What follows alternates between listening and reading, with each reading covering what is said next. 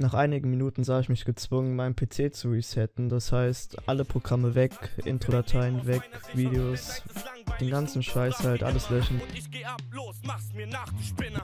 Ich bin all das, wovor deine Eltern dich immer gewarnt haben.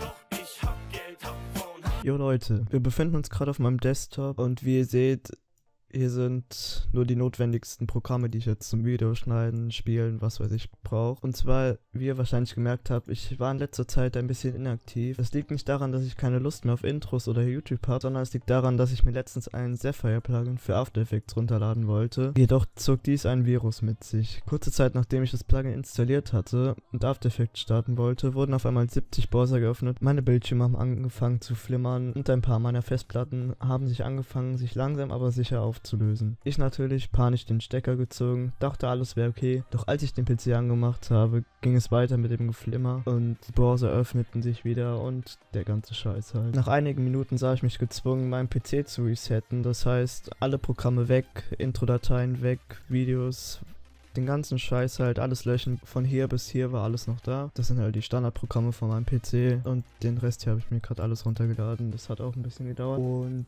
ja, das, ähm, das Resetten des PCs fiel mir ziemlich schwer, da ich noch circa 17 Plugins für After Effects hatte, um Smoke, Shake, die ganzen wichtigen Sachen halt für Intros zu machen. Und ja, ich habe jetzt noch nicht mal Cinema 4D, geschweige denn After Effects.